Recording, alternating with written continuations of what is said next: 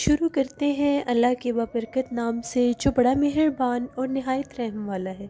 अस्सलाम वालेकुम लिसनर्स मैं हूँ आप लोगों की होस्ट नौशीन और मैं अपने चैनल पर अपने सभी सुनने वालों को वेलकम कहती हूँ। लिसनर्स कैसे हैं आप सब? और मेरे चैनल की खौफनाक कहानियों को कितना इन्जॉय करते हैं? अपना फीडबैक मुझे ज़रूर दें। आज आप लोगों के लिए मैं बहुत दिलचस्प खौफनाक कहानियाँ लेकर आई हूँ, जिन्हें आप बहुत ज़्यादा पसंद करेंगे और उनसे बहुत कुछ सीखेंगे।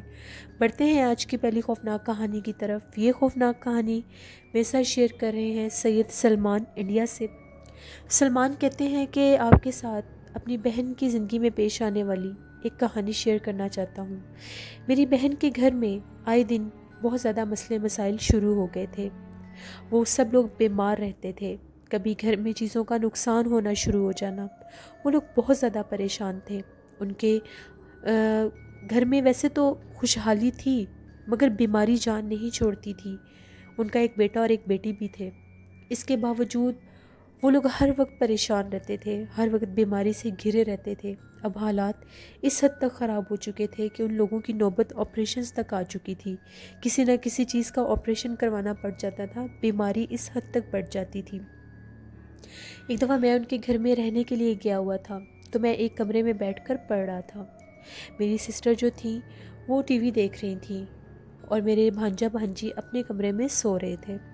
मैं जिस कमरे में बैठकर पढ़ रहा था, एकदम से मुझे वहाँ पर किसी छोटे बच्चे के रोने की आवाज़ आने लग गई। मैं ये समझा कि शायद मेरा भांजा या भांजी उन दोनों में से कोई रो रहा होगा तो मैं उठकर देख लेता हूँ। जैसे ही मैंने जाकर देखा, वो लोग आराम से सोए हुए थे। मैं फिर आकर उस कमरे में पढ़ने लग गया। अब वो जो रोने की आवाज़ थी, पहले बच्चे की आवाज़ थी, अब वो बिल्ली के रोने की आवाज़ होना शुरू हो गई। मैंने जैसे ही कमरे की खिड़की खोल कर देखा तो मैंने बाहर उनका जो गैराज था, मैं वहाँ पर देखने लगा तो मैंने देखा वहाँ पर दो बिल्लियाँ बैठकर रो रही थीं। बहुत खौफनाक आवाज़ों में। वो बाकायदा एक दूसरे को देख कर रो रही थी। मुझे बड़ा तजुब हुआ। मैं थोड़े से शरारती दिमाग का था। मैंने भी उनके साथ रोने की आवाज़ें निकालना शुरू कर दी। तब तक मुझे बिल्कुल भी अंदाज़ा नहीं था कि ये कोई गैर मरे मखलूक है। मैंने तो जैसे बिल्ली को तंग करते हैं उनकी आवाज़ में रोना शुरू कर दिया उनकी उन जैसी ही आवाज़ें निकाल कर। उनमें से एक बिल्ली ने मुझे बहुत घूर कर देखा और मेरे देखते ही देखते वो जो आ, उनकी इंटरेस्ट थी उसकी राइट साइड पर गैलरी में जाकर वो उस तरफ़ चली गई। और उनकी वो रोने की आवाज़ आना बंद हो गई। उसके बाद उनके घर में अब मामूल बन गया था। हर वक्त कुछ ना कुछ होता रहता था। फिर उन लोगों ने, एक अल्लाह वाली थे, खातून थी, उनसे रुजू किया, उनके पास गए। जब उन्होंने सारा हिसाब वगैरह लगाया तो उनका ये कहना था कि आप लोगों के घर में जन्नात का पूरा ख़ानदान आबाद है। आप लोगों के साथ ये हुआ है कि आपके घर में किसी ने कब्रिस्तान की मिट्टी फेंक दी है। लेकिन वो स्पेशल आपके घर के लिए नहीं थी। वो हुआ इस तरह से था कि किसी ने अपना उतारा करने के लिए उनको ये कहा गया था कि गली के कॉर्नर वाला जो घर होगा, उस घर में मट्टी फेंक देनी है। आपका घर गली के कॉर्नर वाला था तो आप लोगों का घर उनको परफेक्ट लगा। उन लोगों ने वो मट्टी फेंक दी और ये मट्टी आज की नहीं, आज से तीन साल पहले की फेंकी गई है। अब वहाँ पर जन्नात की आबादी हो चुकी है। जो मर्द जन्नात हैं, वो मर्द के पीछे हैं। जो ख़ातून जन्नात हैं, फ़ीमेल जन्नात हैं, वो आपकी बहन के पीछे हैं और जो बच्चे जन्नात हैं, वो बच्चों के पीछे हैं। उनको इतनी आसानी से नहीं निकाला जा सकता। फिर उन्होंने एक अल्लाह वाले बताए, उनको हम उस घर में लेकर आए। जैसे वो उस घर में आए, उनका ये कहना था, वो जन्नात बहुत ज़्यादा हावी हैं और वो जाने नुकसान भी पहुंचाना चाहते हैं। इस घर की बंदिश करनी पड़ेगी। उनका ये कहना था, इस घर के चारों कोनों में एक एक गढ़ा खोदना होगा। और मगरिब के बाद आकर मैं बंदिश करूँगा। हम लोगों ने ऐसा किया। मार्केट से हम लोग हार्डवेयर मशीन लेकर आए। मैं भी वहीं पर था। जैसे ही हम लोग वहाँ पर गढ़ा खोद रहे थे, मुझे ये एहसास होता था कि जैसे मेरे पीछे कोई खड़ा है और झुक कर उस घड़े को देख रहा है। मुझे बहुत ज़्यादा शौक था कि मैं जन्नात को देखूँ, लेकिन उस टाइम मेरे दिल में बहुत ज़्यादा डर भी बैठ गया था। जैसे मैं पीछे पलट कर देखता था, वहाँ कोई नहीं होता था। मगर अपना आप मुझे कोई बहुत ज़्यादा ज़ाहिर करवाने की कोशिश कर रहा था। मैंने उस दिन अपनी सिस्टर को और उनके बच्चों को अपने घर भेज दिया था। हम लोग, मैं और मेरे बहनोई हम लोग घर पर थे। फिर वो जो अल्लाह वाले आमिल थे, वो आए। उनके पास कुछ नेल्स थे। उनके ऊपर एक सूरत कुर्बानी होती है, वो लिखी हुई थी। इसके अलावा उनके पास पानी भी था और कुछ रेत दम की हुई थी। वो कुछ पढ़ाई करते करते उन गढ़ों के ऊपर, उन गढ़ों के अंदर वो नेल्स गाड़ते जा रहे थे। फिर उसके बाद वो घर के अंदर आ गए। वहाँ पर उन्होंने कमरों के अंदर वो रेत फेंकी और वो जो पानी था उसका हर तरफ़ स्प्रे किया और ये कहा कि यहाँ पर 11 दिन तक लगातार आप लोगों ने सूरत बकरा पढ़नी है और हर कमरे में अलग अलग बैठकर पढ़नी है। और उसके बाद उन्होंने वहाँ पर बुलंद आवाज़ में अजान भी दी और ये कहा कि मगरिब के बाद ऊँची आवाज़ में अजान भी देनी है। हम लोगों ने ऐसा ही किया। ग्यारहवा दिन था। तो मेरी जो बहन थी, उन्होंने अपने बेटे को कहा, जिसकी एज सात साल है, कि जाओ कमरे में से फ़लाँ चीज़ लेकर आओ। वो जैसे ही कमरे में गया, एकदम से चीखें मारता हुआ बाहर भागा। तो मेरी आपी ने पूछा कि तुम्हें क्या हुआ है? जिस पर उसका ये कहना था कि जैसे ही मैं कमरे में गया हूँ, वहाँ पर एक बहुत ज़्यादा काले से रंग के उनका चेहरा ख़राब था। एक अंकल बैठे हुए थे और वो मुझे घूर घूर कर देख रहे थे। मम्मा, वो बहुत डरावने थे। वो बहुत ज़्यादा डर गई कि अब मैं क्या करूँ। उन्होंने फ़ौर से वो जो अल्लाह वाली खातून थी, जिनके कहने पर ये सब कुछ हुआ था। उनको फ़ोन किया और उनसे पूछा कि अब हम लोग क्या करें? उनका ये कहना था कि वो जो बंदिश की गई है, वो घर की बाउंड्री पर की गई है। अब वो जो मखलूक है, आपके घर के अंदर है, वो भी घर से बाहर नहीं गई। जिसकी वजह से वो तंग आकर अपना आप ज़ाहिर कर रही है। फिर उनका ये कहना था कि मैं आपको कुछ तावीज़ दूँगी। फिर उनके पास गए। लोहे की कुछ प्लेट्स थी जिनके ऊपर सूरत कुर्बानी लिखी हुई थी। उनका ये कहना था, ये हर कमरे की दीवार पर लगानी है, किचन की दीवार पर भी लगानी है। इसके अलावा उन्होंने कुछ तावीज़ दिए जो उन सबने अपने अपने गलों में पहने और घर में भी लगाए। उसके बाद उस मखलूक ने उन्हें डराना छोड़ दिया, उनके सामने आना छोड़ दिया। अब वो लोग, माशाल्लाह, बिल्कुल ठीक हैं, खुश हैं अपनी ज़िंदगी में। मेरी आपी और उनकी फैमिली उन लोगों ने अब्रॉड जाना था। जिन दिनों में उनके घर में ये मामला थे, वो जन्नात उन पर इतने हावी थे कि उनके घर में एकदम से अचानक चोरी हो गई। और उस चोरी में कोई कीमती सामान नहीं गया। उनके पासपोर्ट और जो बाहर जाने के सारे पेपर्स थे, वो गायब हो गए थे कि वो लोग वहाँ से जा ना सकें। फिर इतने रूहानी इलाज के बाद वो लोग ठीक हुए। अब वो बिल्कुल ठीक हैं। सैयद सलमान जो हैं, वो वकास अहमद को बहुत ज़्यादा अप्रिशिएट भी कर रहे थे और सलाम भी दे रहे थे और ये कह रहे थे कि आपकी जो भी कोई मुश्किल है, अल्लाह उसको हल कर दे। थैंक यू वेरी मच बहुत शुक्रिया सैयद सलमान आपका। लिसनर्स जो भी लोग अपने ऊपर से कोई भी बला, आफत या मुसीबत उतारने के लिए किसी दूसरे इंसान को, किसी बेकसूर मासूम इंसान को निशाना बनाते हैं, ये बहुत सख्त गुनाह है। ऐसे नहीं करना चाहिए। हम लोगों के नेबर्स थे तो उनकी अम्मी बहुत अच्छी थी आंटी। वो आंटी सबसे बहुत ज़्यादा प्यार करती थी। हम लोगों के साथ भी बहुत प्यार करती थी। उनके साथ ऐसा ही हुआ था। उनके घर में उनकी ही एक रिलेटिव आई थी। उनको भी किसी ने भेजा था कि तुम ये चीज़ लेकर फ़ौर किसी के घर चली जाओ। जो भी फ़र्स्ट पर्सन दरवाज़ा खोलेगा, वो जो आफत चुड़ैल होगी, वो उस पर चली जाएगी। तुम्हारे बेटे की जान छूट जाएगी। उनके बेटे पर किसी चीज़ का असर था। उन्होंने ऐसे ही किया। वो अपने रिलेटिव्स के घर चलेंगी वो जो आंटी थी, वो गेट खोलने आई। जैसे ही उन्होंने गेट खोला, वो जो औरत थी, वो तो उनके घर के अंदर चली गई, लेकिन वो जो आंटी थी, वो गेट के पास ही बैठ गई और ये कहने लगी कि मुझे अंदर नहीं जाना, मुझे डर लग रहा है। इस औरत के साथ कोई चीज़ थी जो मेरी आँखों में गई है और अब मुझे वो हर जगह पर नज़र आ रही है। उन्हें बहुत सा बुखार होना शुरू हो गया। उनकी हालत बहुत गैर होगी, वो दुनिया ही भूल गई। वो अजीबो गरीब बातें करती थी, वो पलक नहीं चपकती थी। वो, हम, मैंने भी उनको देखा था, वो फिर जब अपनी बेटी के घर आई थी, उनकी बेटी का घर हम लोगों के घर के पास था तो हम वहाँ पर वो आया करती थी। हम लोगों ने जब सुना कि आंटी की तबीयत इस तरह से ख़राब हो गई, हम लोग उनको पूछने के लिए बाकायदा गए, जहाँ पर वो रहती थी। जब हम लोग वहाँ पर गए तो वो अजीबो गरीब तरह से प्रिटेंड कर रही थी, वो कहती थी बाहर आ गए हैं मुझे लेने के लिए, मैं जा रही हूँ। जबकि बाहर कोई भी नहीं होता था। हंसना शुरू कर देती थी, रोना शुरू कर देती थी। कभी कहती थी, वो फ़लाँ जगह पर मुझे बुला रहे हैं, मैं वहाँ पर जा रही हूँ। किसी को कोई पता नहीं होता था उनको कौन बुला रहा है, उनको कौन दिख रहा है, वो किसके साथ जाती हैं और वो कहाँ जाती हैं। घर से वो गायब रहना शुरू होगी चार चार, पाँच पाँच घंटे। एक बेटी समझती थी, मेरे घर पे होंगी। दूसरी समझती, शायद दूसरी के घर पर होंगी। होती वो कहीं और थी। खैर, उस चीज़ से लड़ते लड़ते उनकी डेथ हो गई। वो दोबारा ठीक हुई ही नहीं। उन लोगों ने बहुत कोशिश की। जब उन्होंने वो कोशिश की तो उनको ये पता चला कि अपने ऊपर से कोई आफत उतारने के लिए वो आफत किसी ने उन पर फेंक दी। उनकी जगह कोई भी होता, वो चीज़ उनको पकड़ लेती। कितना गुनाह है ये। कितनी तो बस तक फार अल्लाह हदायत दे ऐसे लोगों को जो ये अमल करके देते हैं कि आपसे उतरेगी तो आप किसी दूसरे पर डाल दें। एक और मेरी बात लिसनर्स हमेशा याद रखिएगा। किसी गली में, किसी रोड में से आप लोग गुज़र के जाते हैं, अक्सर आप लोगों ने नोटिस किया होगा, एक तो होता है कि घर की सफ़ाई वगैरह की जाए, बाहर से घर धोया जाए तो वो पानी बाहर निकला होता है, गेट से बाहर। कुछ जगह पर ऐसा होता है कि वैसे ही किसी घर के आगे थोड़ा सा पानी कोई फेंक देता है, कभी भी उस पानी के ऊपर से क्रॉस नहीं करना चाहिए।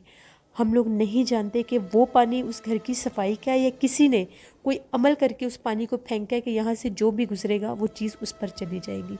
इन चीज़ों का ख्याल रखा करें। गली में गिरी हुई कोई चीज़ आप लोगों को नज़र आए, उसको उठाकर साइड पर रख दें, अपने घर साथ ना लेकर जाएँ। कोई पानी देखें, उसके ऊपर से क्रॉस ना करें, उसकी साइड से गुजर जाएँ। ये छोटे छोटे पॉइंट हैं, इनको ज़रूर मद्देनज़र रखा करें। बढ़ते हैं एक और खौफनाक कहानी की तरफ़। ये खौफनाक कहानी फ़रहीन शेयर कर रही हैं इंडिया से। फ़रहीन कहती हैं कि मैं इंडिया के शहर यूपी मेरठ की रहने वाली हूँ। वहाँ पर हम लोगों का घर था। ये बात वो कहती हैं काफ़ी पुरानी है। हम लोग, तीन बहनें, दो भाई हैं। ये तब की बात है जब मेरी दो बहनें थी सिर्फ़ और वो छोटी छोटी थी। मेरे फादर का एक छोटा सा कारखाना था जहाँ पर कैंची बनती थी, सीज़र। वहाँ पर वो उसको बनाते थे बाकायदा। अब वो कहती हैं, जहाँ पर हम लोगों का घर था, वो तकरीबन एक रोड, उसके आगे एक पूरा रोड था। एक साइड पर वीराना था और एक साइड पर कब्रिस्तान थे। सात से आठ कब्रिस्तान साथ साथ थे। वो कहती हैं, वो काफ़ी बड़ा एक सीधा रोड था, जिसकी एक साइड पर वीराना और बाकी साइड पर कुल कब्रिस्तान थे। अब वो जो कब्रिस्तान, जहाँ पर वो कब्रिस्तान थे, उनके सामने ही दूसरे रोड पर मेरे फादर का कारखाना था। वो बहुत ज़्यादा मेहनत करते थे। कभी कभार जब बहुत ज़्यादा ठंड हो जाया करती थी तो मेरे फादर वहीं पर रात स्टे करते थे और फिर अगले दिन घर आ जाया करते थे कि रात ज़्यादा होने की वजह से, रास्ता सुनसान होने की वजह से, वहाँ पर कब्रिस्तान होने की वजह से वो वहीं पर स्टे कर लिया करते थे। एक दफ़ा मेरे फादर उधर ही थे, वहाँ पर काम कर रहे थे, ठंड ज़्यादा होने की वजह से आज वर्कर्स जल्दी अपने अपने घरों में चले गए थे, वो वहाँ पर अकेले थे। वो कहते हैं, मैंने काफ़ी देर काम किया, मैं थक गया तो मैं एक साइड पर होकर लेट गया, मेरी आँख लग गई। अभी मेरी आँख लगी थी, एकदम से मेरे ऊपर एक बहुत भारी भरकम वजूद वाला कोई आदमी आकर गिरा। जैसे ही मेरी आँख खुली, मैंने देखा मेरे ऊपर कोई आदमी बाकायदा गिरा हुआ है। उसका चेहरा बहुत खौफनाक था। मैंने फ़ौर से उसको अपने ऊपर से हटाकर दूसरी तरफ़ फेंका और वो गायब हो गया। वो बहुत ज़्यादा डर के रातों रात वहाँ से भागे, घर आए। वो बहुत खौफजदा थे। उन्हें बुखार भी हो गया। फिर उन्होंने एक अल्लाह वाले थे, उनके पास गए, दम करवाया और पूछा कि मेरे साथ क्या हुआ है? वो जो अल्लाह वाले थे, उन्होंने फिर आकर देखा उस जगह को तो उनका ये कहना था कि यहाँ पर कोई कब्र हुआ करती थी, जिसकी वजह से यहाँ पर जन्नात का बसेरा है, उसके ऊपर यह दुकान बना दी गई थी। उस चीज़ ने आपको अपना आप ज़ाहिर किया है। आप लोग इस जगह को छोड़ दें। फिर मेरे फादर ने उस शॉप को छोड़ दिया, सेल कर दिया, नई जगह पर शॉप ली। आज के दौर में, आज के दिन भी उनका वही बिज़नेस है। वो कैंची का ही काम करते हैं सीज़र ही बनाते हैं, लेकिन हम लोग खुश हैं। मेरे फादर बहुत ज़्यादा बहादुर भी थे और माशाल्लाह उन्होंने हिम्मत नहीं हारी। वो डर बहुत गए थे तब, लेकिन फिर भी वो कहते हैं, मैं वहाँ से निकल आया। मेरे फादर की ज़िंदगी की कहानी थी, जो मैंने आपके साथ शेयर की। बहुत शुक्रिया फ़रहीन आपका। अल्लाह आप सबको, हम सबको अपने हिफ्स ईमान में रखे। बढ़ते हैं एक और खौफनाक कहानी की तरफ़। ये खौफनाक कहानी निदा शेयर कर रही हैं अमेरिका से। निदा कहती हैं, आज आपके साथ एक ऐसी स्टोरी शेयर करना चाहती हूँ, जो मेरी मदर ने मुझे सुनाई है। उनकी एक फ्रेंड की स्टोरी थी। वो कहती हैं, उनकी एक दोस्त थी, उनका नाम शाजिया था। वो बड़ी खुश शक्ल भी थी, खुश मिजाज भी थी। वो कहती हैं, एक दफ़ा हम लोग बातें कर रहे थे तो बातों बातों में जन्नात का टॉपिक छिड़ गया। अब वो जो मेरी फ्रेंड थी, उसको शौक पड़ गया कि मैं जन्नात को देखूँ, जन्नात होते कैसे हैं? मेरी मदर ने उसको बहुत समझाया कि इन चीज़ों में इन्वॉल्व नहीं होते। बातों की हद तक ठीक है। हम लोग जैसे बातें करते हैं, इतना ही रहना चाहिए, इतना डीपली इन चीज़ों में नहीं जाना चाहिए। मगर उस पर तो जैसे वो एक चीज़ सवार होगी कि नहीं, मुझे देखना है। अब वो, उसने रोज़ क्या काम करना शुरू कर दिया? वो बाल खोल कर बहुत ज़्यादा परफ्यूम लगा कर रात के टाइम छत पर चली जाया करती थी कि शायद मुझे कोई जन्नात नज़र आ जाए। उसने रोज़ का ये मामूल बना लिया और रोज़ वो कॉलेज आकर मेरी मदर को और अपनी फ्रेंड्स को बताती थी कि मैं ये काम कर रही हूँ। एक दिन ऐसा हुआ, रात के टाइम वो परफ्यूम लगा कर बाल खोल कर छत पर चली गई। किसी चीज़ ने उसके बाल बहुत ज़ोर से नोचे, इतने ज़ोर से खींचे कि वो चीखे मारती हुई नीचे भागी। उसके बाद उसकी हालत ख़राब हो गई। कॉलेज जाना भी उसने बंद कर दिया। जब मेरी अम्मी को पता चला, उन लोगों ने अपनी एक और फ्रेंड के साथ ये प्लान सेट किया कि जाकर उसको पूछ कर आते हैं। पता नहीं उसकी क्या हालत है। इतने दिन से वो कॉलेज भी नहीं आ रही और उसका कुछ पता नहीं है। वो सारी फ्रेंड्स मिलकर उसके घर चली गई। जब उनके घर गई तो आगे के हालात ही कुछ और थे। वो जो शाजिया थी, वो बहुत ड्रावनी कंडीशन में थी। उसके बाल बिखरे हुए थे। उसके पेरेंट्स ने उसको आयरन चेन में, जैसे वो जो जंजीर होती है, उसके अंदर उसको लॉक किया हुआ था और उसको एक कमरे में बंद किया हुआ था। वो अजीबो गरीब तरह से हरकतें कर रही थी। वो खाना तो खा रही थी, एक नवाला खुद खाती थी और एक नवाला दीवार को खिला रही थी और किसी ना दिखने वाली चीज़ के साथ बातें कर रही थी। उसके पेरेंट्स कहते हैं, इसकी हालत इस हद तक ख़राब हो चुकी है कि इसको हम खुला नहीं छोड़ सकते। ये अटैक करती है, ये अजीबो गरीब हरकतें करती है, घर से बाहर भागने की कोशिश करती है। एक दिन उसके पेरेंट्स ने क्या किया, वो लोग शादी पर गए तो उसको घर अकेला छोड़कर बंद करके चले गए। जिस कमरे में वो बंद थी, उसकी बाहर वाली साइड पर एक विंडो थी। उसने इस विंडो को खोल कर वहाँ से महल्ले के एक बच्चे को आवाज़ दी, बड़े प्यार से बहलाया, फुसलाया, अपने पास बुलाया और उसको आकर ये कहती है कि ये दरवाज़ा खोल दो, मुझे बाहर जाना है। वो बच्चा था, बच्चे वैसे ही शरारती होते हैं, वो उसकी बातों में आ गया। उसने उनके घर की दीवार फैलाकर वो दरवाज़ा खोल दिया। जैसे उस बच्चे ने वो दरवाज़ा खोला उसने उसका सर उतार दिया, उस पर हमला किया और उसका सर जो था उसके धड़ से अलग कर दिया। लोगों ने देखा कि उस शाजिया को गैर मरे मखलूक जन्नात उड़ाकर अपने साथ ले गए। बहुत चीखो पुकार हुआ, मगर कोई उसको रोकने वाला नहीं था। जब उसके पेरेंट्स वापस आए तो उन लोगों को उस घर में से उस बच्चे का धड़ मिला, जिसका सर गायब था। जो उस शाजिया ने उतार दिया था। महल्ले वालों ने खुद देखा कि उसको जिन्नात उड़ाकर अपने साथ ले गए। कहाँ लेकर गए? कोई नहीं जानता। उसका कोई अता पता नहीं था। ये एक स्टोरी थी जो हमारी मदर ने, मेरी मदर ने मेरे साथ शेयर की और ये बताया कि किस तरह से उनकी फ्रेंड की हस्ती खेलती ज़िंदगी बर्बाद हो गई। बहुत शुक्रिया निदा आपका। लिसनर्स तोबा इस्तफ़ार करनी चाहिए। एक दो दफ़ा मुझे कमेंट बॉक्स में भी कुछ लोग कह रहे थे, हमें बड़ा शौक है जिन्ना देखने का तो बस तक पार करें। ऐसे शौक कभी भी ना पालें, जो जान लेवा हूँ, जो जानी नुकसान पहुँचाएँ।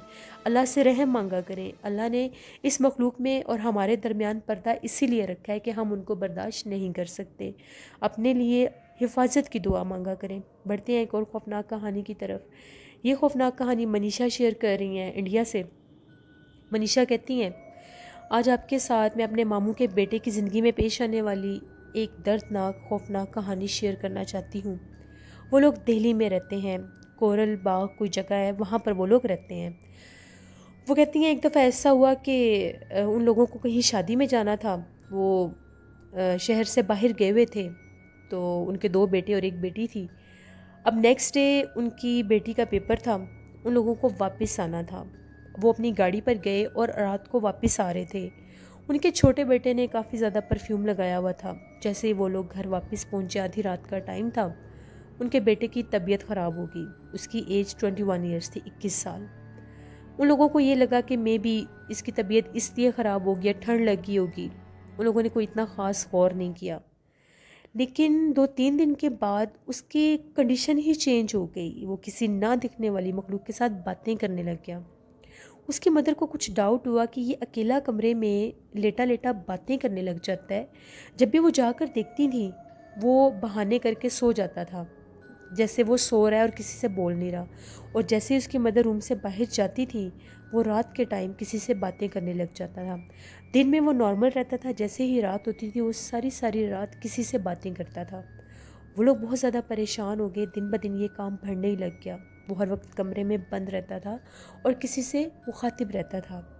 उन लोगों ने ये कहा कि हम लोग किसी अल्लाह वाले के पास जाते हैं कि पता चल सके हमारे बेटे को क्या हो गया उन लोगों ने अपने बड़े बेटे से ये कहा कि अपने भाई का ख्याल रखना, हम लोग वापस आ जाएँगे। अब उनका जो बड़ा बेटा था, उसने कहा, ठीक है, मैं इसका ख्याल रखूँगा। पहले वो काफ़ी देर टीवी देखता रहा, उसका भाई एज इट इज़ कमरे में ही बंद था। फिर उसको ये लगा कि शायद वो सो गया होगा, वो बोर हो रहा था, वो छत पर चला गया। छत पर गया, वहाँ पर अपने दोस्तों के साथ फ़ोन पर बातें करने लग गया। थोड़ी ही देर के बाद उसको अपने घर के सहन में से इस तरह से स्मेल आने लग गई, जिस तरह से कच्चा गोश्त जल रहा होता है। अभी वो स्मेल पर गौर कर रहा था कि बाहर लोगों ने चीखना चिल्लाना शुरू कर दिया कि इस लड़के को बचाओ। वो नीचे भागा तो उसने क्या देखा? उसके भाई ने खुद को आग लगाई हुई थी और वो हंस रहा था अजीबो गरीब हँसी हंस रहा था। और ऐसा फील हो रहा था कि उसके जिसम को कुछ हो ही नहीं रहा। पूरे मोहल्ले के लोग वहाँ पर इकट्ठे थे और वो चीख रहे थे कि इसके ऊपर पानी फेंको, इसको बचाओ, ये करो, वो करो। वो टस से मस नहीं हो रहा था। उसके पेरेंट्स आते, उसके भाई ने बहुत कोशिश की उस आग को बुझाने की, लोगों ने भी कोशिश की, मगर सब नाकाम हुए। उसके पेरेंट्स जब वापस आए, वो अल्लाह वाले जो जिनके पास वो गए थे, उनको लेकर उनका बेटा तब तक जल कर मर चुका था। वो जैसे ही आए, उनका ये कहना था कि इसके ऊपर एक बहुत भयानक चुड़ैल आशिक हो चुकी थी। वो जब उसको पता चला है कि आप लोग मेरे पास आ रहे हैं उसको दूर करने के लिए, उसने इसको जला दिया और उसको अपने साथ ले गई है। आज भी मेरे मामा मामी उसको याद करके बहुत ज़्यादा रोते हैं अपने बेटे को। वो कहते हैं, हम लोग यकीन ही नहीं कर सकते कि हम लोगों की ज़िंदगी में इतना बड़ा हादसा हुआ था। ये एक स्टोरी थी मेरे मामू की बे, बेटे की जो मैंने आपके साथ शेयर की। बहुत शुक्रिया मनीषा आपका। लिसनर्स हमेशा रहम मांगना चाहिए। मैं हमेशा ये बात इसलिए कहती हूँ आने वाले पल का कोई आइडिया नहीं होता। दुआएँ इंसान की तकदीर बदल देती हैं। नमाज़ पढ़कर आयतल कुर्सी पढ़कर अपने ऊपर हिस्सा रखा करें और सबसे बढ़कर अल्लाह से दुआ किया करें। अल्लाह हमें अपने हिफ्स ईमान में रखे। बढ़ते हैं एक और खौफनाक कहानी की तरफ़? ये खौफनाक कहानी मेरे regular story centre Waqas Ahmed share कर रहे हैं। वकास कहते हैं कि आज आपके साथ मैं एक ऐसी स्टोरी शेयर करना चाहता हूँ, जिसके आई विटनेस मेरे अपने कज़न हैं। वो ये कहते हैं, मेरे दो तीन कज़न हैं। उन लोगों ने मिलकर एक मदरसा में एडमिशन लिया। वहाँ पर वो पढ़ते थे। वहाँ के जो प्रिंसिपल थे, मुफ्ती साहब जो थे हेड थे वहाँ के, वो बहुत अच्छे इंसान थे। उनकी बहुत नूरानी, बहुत खूबसूरत उनकी शख्सियत थी। वो इतने अच्छे थे कि वो कभी किसी से बुरा सलूक नहीं करते थे, कभी बद अखलाक़ी नहीं करते थे। कभी अगर स्टूडेंट्स से कुछ गलती हो भी जाती थी तो वो बड़े प्यार से उनको समझाते थे कि दोबारा वो इंसान काम करता ही नहीं था। उनके बारे में एक बात मशहूर थी कि वो किसी ना दिखने वाली मखलूक के साथ हम कलाम होते हैं। बहुत से तालब इल्म और टीचर्स जो हैं, उनके बारे में ये बात करते थे। हम लोगों ने अभी ऐसा कुछ नहीं देखा था। रात के टाइम ये मशहूर था कि जब हम लोग सो जाते हैं तो वो सारी रात इबादत करते थे। एक दफ़ा हम लोगों ने कहा, आज हम देखते हैं कि जो हम लोगों के मुफ्ती साहब हैं, क्या वाक़ रात के टाइम किसी मखलूक के साथ हम कलाम होते हैं? इसी सिलसिले में हम लोग एक कैंपस, न्यू कैंपस था, उसी मदरसे का उस तरफ़ चले गए। वहाँ पर बेसमेंट था तय खाना जैसे हम लोग उसके करीब जाने लगे तो वहाँ से आधी रात का टाइम इस तरह से आवाज़ें आ रही थी। जैसे हम लोग तालब कुरान पाक पढ़ते हैं, ऊँची आवाज़ में तो आवाज़ें आती हैं। हम लोगों को बड़ी हैरत हुई कि आवाज़ें बहुत ज़्यादा आ रही हैं, लेकिन दिख कोई भी नहीं रहा। हॉल खाली था। आवाज़ें बहुत ज़्यादा थी और देखने वाला एक कोई पर्सन भी नहीं था वहाँ पर कि कोई स्टूडेंट नज़र आ जाए। एकदम से मुफ्ती साहब तय खाने के दूसरे कमरे से बाहर आए और आकर ये कहते हैं, आप सबने अपना सबक याद कर लिया है, मैं कल आप लोगों से सुन लूँगा। इतने में वो आवाज़ आना बंद हो गई, वो जो पढ़ रहे थे बच्चे। हम लोग बहुत डर गए, हम लोगों को पता चल गया कि मुफ्ती साहब हमारे अलावा जिन्नात के बच्चों को भी तालीम देते हैं, दीनी तालीम देते हैं। हम लोग वापस अपने अपने कमरों में चले गए। अगले दिन हमें, हमारे प्रिंसिपल जो थे, उन्होंने अपने रूम में बुलाया, ऑफ़िस में बुलाया। हँसी हँसी में हमें ये कहने लगे कि रात के टाइम अपने अपने कमरों में रहा करो। रात के टाइम किसी की इबादत में और किसी की पढ़ाई में खलल नहीं डालते। हम लोग सिरे से मुकर गए, हम लोगों ने कहा, सर, हमने ऐसा क्या किया? जिस पर उनका ये कहना था, रात आप लोग बेसमेंट के बाहर आए थे, वहाँ से आप लोग छुप कर देख रहे थे। जन्नात के बहुत से बच्चों ने शिकायत की कि हमारी पढ़ाई और इबादत में ये खलल डाल रहे हैं। मुझे पता चल गया था कि वहाँ पर आप लोग थे। दोबारा आप लोगों ने ऐसा कभी भी नहीं करना। रात के टाइम उस कैंपस की तरफ़ नहीं जाना। वहाँ पर जन्नात के बच्चे इबादत लेने के लिए, इबादत, सॉरी, तालीम लेने के लिए आते हैं मेरे पास। उसके बाद हम लोग वहाँ पर पढ़ते रहे, लेकिन कभी भी हम लोग दोबारा वहाँ पर नहीं गए।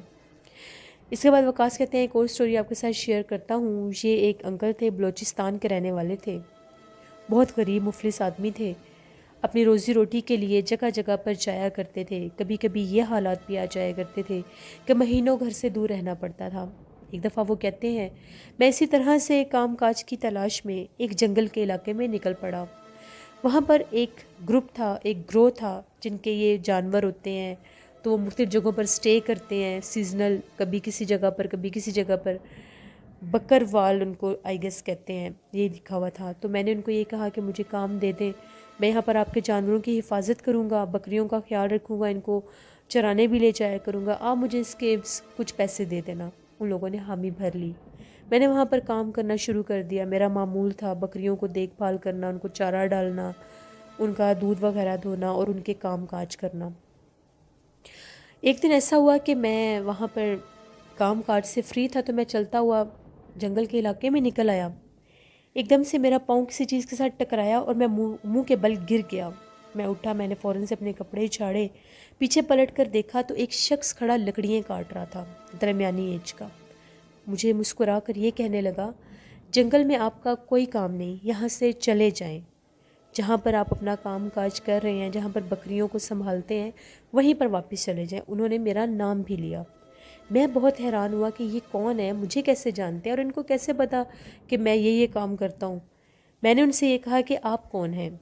उनका ये कहना था कि अभी आपको पता चल जाएगा थोड़ी देर में कि मैं कौन हूँ। फिर मैंने, मुझे तजस्स होने लग गया कि मैं पूछूँ, ये हैं कौन? कहाँ रहते हैं? मुझे कैसे जानते हैं? कोई जासूस है या कौन है? मैंने उनसे पूछा, आप कहाँ रहते हैं? तो उन्होंने बिल्कुल सामने इशारा किया। मैंने पीछे पलट कर देखा तो वहाँ पर एक कदीम पुराना कटा हुआ दरख्त था। वहाँ पर कोई घर नहीं था। मैंने उन्हें ये कहा, यहाँ तो कोई घर नहीं है। इतने में वो चलते हुए मेरे पास से गुजरे और उस दरख्त के करीब गए और गायब हो गए। मैंने उन्हें दो से तीन दफ़ा ऊँची ऊँची आवाज़ भी दी, मगर उन्होंने कोई जवाब नहीं दिया। तब मुझे ये पता चला कि उनकी जो बात थी कि अभी थोड़ी देर बाद आपको पता चल जाएगा मैं कौन हूँ। वो ये थी कि वो कोई जिन्नात जिन्नात थे या जिन थे जो यहाँ, वहाँ पर रहते थे, अपना आप उन्होंने ज़ाहिर किया। और मुझे ये ख़बरदार किया कि मैं यहाँ से चला जाऊँ। मैं चुपचाप वहाँ से वापस चला गया जहाँ पर मैं रहता था, जहाँ पर काम काज कर रहा था। मैं फिर दोबारा कभी जंगल के उस हिस्से में नहीं गया और ना ही ये राज मैंने किसी से शेयर किया। दो माह मैंने वहाँ पर काम किया, कुछ पैसे बनाए तो घर वापस चला गया। ये कुछ स्टोरीज थी जो वकास अहमद ने शेयर की। बहुत शुक्रिया वकास अहमद आपका। लिसनर्स जो नेक जिन्नात होते हैं, जो अच्छे जिन्नात होते हैं, वो तो इंसान को नुकसान नहीं देते। बस अपना मैसेज कन्वे कर देते हैं कि यहाँ से ना गुजरें या यहाँ पर ना आए। इंसान को समझना चाहिए, फिर वैसी जगहों पर नहीं जाना चाहिए। अपना बहुत सा ख्याल रखा करें। और अपना फीडबैक मुझे ज़रूर दें। आप लोगों को आज की खौफनाक कहानी है कैसी लगी? कल आप लोगों के साथ फिर मुलाकात होगी किसी नई खौफनाक कहानी में। आप लोग भी स्टोरी शेयर कर सकते हैं। डिस्क्रिप्शन बॉक्स में दिए गए email ID Nosheen with fifty seven eight gmail dot com पर। इसके अलावा आप लोग मुझे कमेंट बॉक्स में भी स्टोरी शेयर कर सकते हैं। कल रात से यहाँ पर बारिश हो रही है। मैंने व्लॉग शूट किया है। इंशाल्लाह वो भी शेयर करूँगी। उसको भी ज़रूर देखिएगा नौशीन वॉइस ऑफिशियल पर और नीलम वॉइस ऑफिशियल को भी जाकर सब्सक्राइब करें। Thank you for watching stay blessed Allah निखेबान